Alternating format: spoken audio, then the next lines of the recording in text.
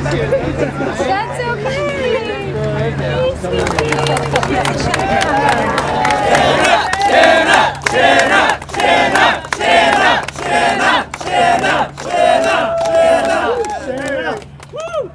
Thank you, Adam, uh, and thank you, all of friends, old and new, who have come to join me here in Bangor.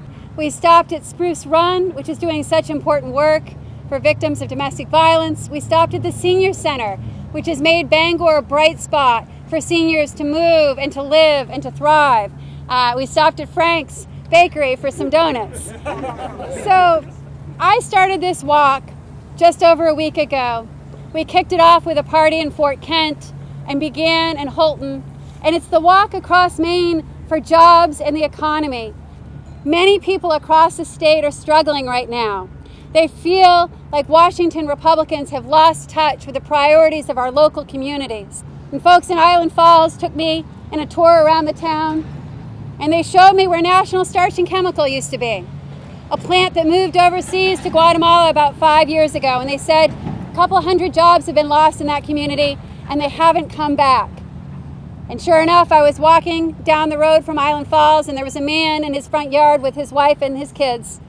And I talked to him, and he said he was one of those workers who lost his job.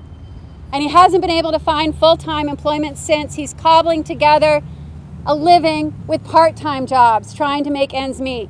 We need to focus on our local economies. We need to focus on the economy of the future and what we do to bring jobs to the rural areas as well as the urban centers.